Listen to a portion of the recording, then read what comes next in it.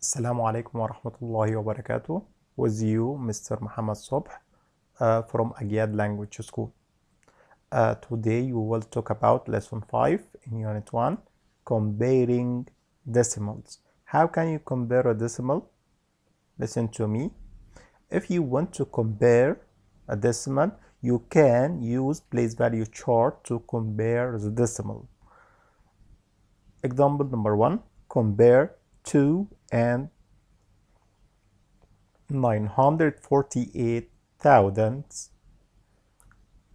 2 and 957 thousandths. Now, if you put them on a place value chart, 2, the first number 2 in ones, and 9 in tenth, and 4 in hundredths, and 8 in thousandths. The next one, 2 in ones also, and 9 in tenth, and 5 in hundredths, and 7 in thousandths. Now, if you want to compare, start the ones place and the ones place is 2 and 2. 2 in ones and the 2 in ones, and they are equal. Go to the tenth place, 9 in tenths and the 9 in tenths also, and they are equal. In the hundredths place, you have 4 in hundredths and 5 in hundredths. So 5 in hundredths place, it's more than 4 in hundredths place. So 5 more than 4. So the second number is greater because you have a 5 in hundredths place. Now, if you want to compare without using a place value chart, how can you compare between two decimal without using place value chart?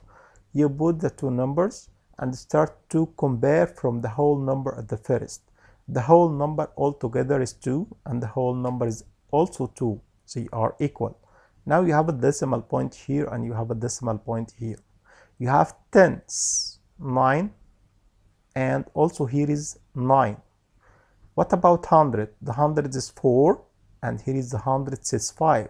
So 100 is 5 is greater and you you must stop. Don't complete comparing a number because you have 4 and 5 and 5 it's more than 5 more than 4 so you stop at you stop comparing. You stop to compare the number. And the number which is has 5 and hundredths place is greater. 2 and 957 thousandths now go uh, go to another example to understand more and more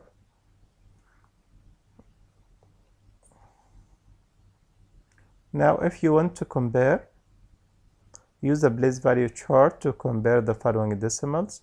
Now, I want to use uh, a place value without drawing any chart to compare. Now you have the whole number here is 52 and the whole number is 52. So they are equal. You have a decimal point here and you have a decimal point here.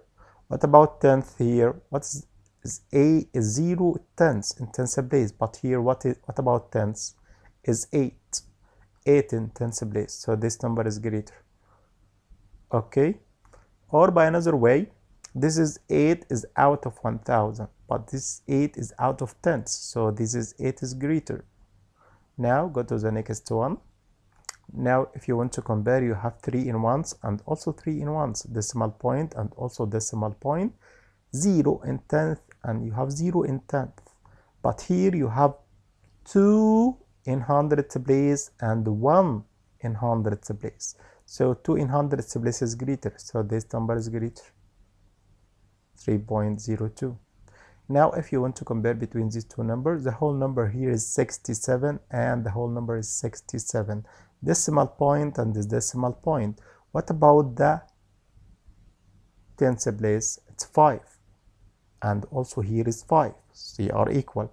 Where is the hundreds and thousands place to compare? There is no. So you can put zeros as you like. Now you have 0 0 0 and 0 so these two numbers they are equal.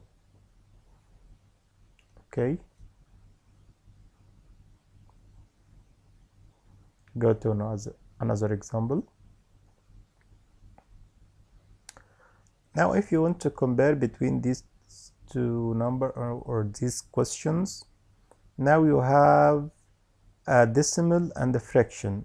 You can't compare between decimal and the fraction. You must convert at the first the fraction to decimal or a decimal to a fraction as you like. But now I want to compare or to convert the fraction to decimal at the first 385 over 1000 so you must put the decimal point after three decimal places though the decimal form of this fraction it will be 0 0.385 now you can compare. Now you can uh, compare. You have something now you can compare between them. Uh, 0 in whole number 0 in whole number decimal point decimal point 3 in tenths and 3 in tenths 9 in hundreds and 8 in hundreds. So it's 9 is greater so this number is greater. Now you have 28 thousandths 28 thousandths means 28 over 1000 28 over what? 1000 and 28 over 1000 if you want to write it as a decimal so you can write it 0 point 0 2 8 because you must put the decimal point after three decimal places because it's over 1000 now go to compare between the decimals. You have 0 and ones 0 and ones decimal point and decimal point 0 in tens place and you have 2 in tens place. So 2 in tens place is greater. Or by another way this is 28 out of 1000 but this is 28 out of 100s or 28 hundredths 28 hundredths is greater. Now go to the next example Uh, this is numbers written as uh, expanded form. And and you want to put it in standard form. So you write at the first uh, four in ones. You write here four in ones. Decimal point. After that you have four in hundreds. So there is no tens. You put zero in tens place and you write four in hundreds after that you have 5 in thousands.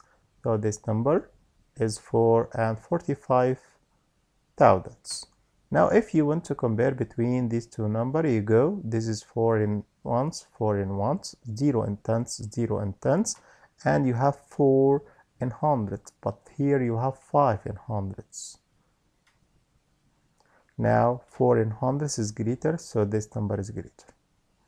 Okay now you have also number in expanded form here and you want to put it in standard form. So you write it here 4 and 1 and whole number 4 after that you put the decimal point.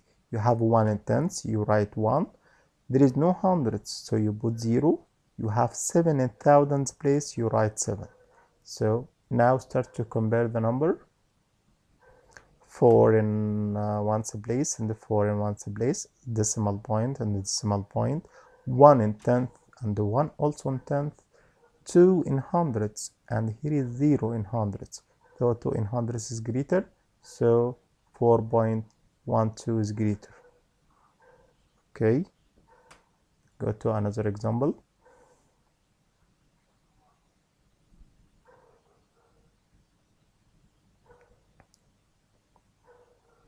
Now order from least to greatest.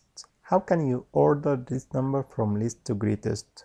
Start to take the smaller one of this number. What is the smaller number of this number? You take 4 and 4 and 4 and 4.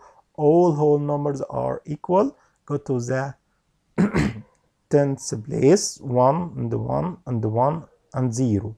So the smallest number 4.015 the smallest one.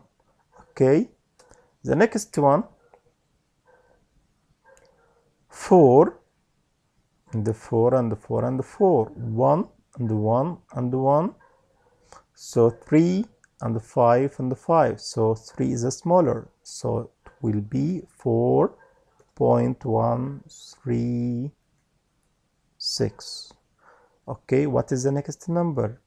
4.15 4.15 157 and 150 so the smaller is 4.150 and the last one it will be 4.157 okay that's the answer of the of this question.